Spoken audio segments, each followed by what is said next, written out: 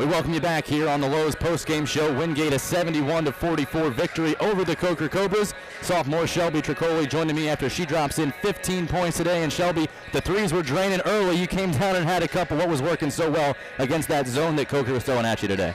Well, honestly, just our other guards penetrating, drawing them in, and then it left me open in the corner. So now on the defensive end, we saw you out on the point today a lot, guarding them as they were running around with those four different guards, able to hold them to two of 18 shooting from three. Just a low shooting percentage for them overall. What was the defensive strategy going against that four guard system again for the second time in as many games? Well, with that many guards and all of them being shooters, we just knew we had to get out on them, make sure they didn't have any open looks. So just and you were a freshman last year, but you were here for the dramatic finish that came down to the wire against yeah. these guys last year. This year, it's a little bit of a different story. It's a little bit nicer to be able to relax in that second half, isn't it? Absolutely, yes.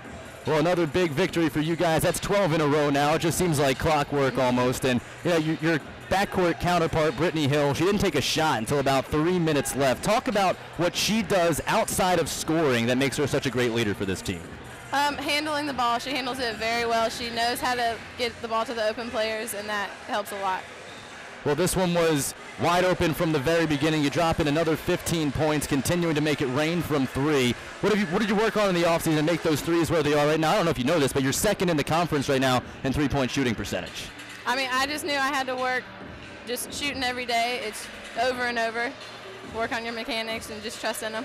Well, it's certainly working for you. 77, 71 to 44, your final score. Congratulations again on the victory, and thanks as always for joining us. Thank you so much.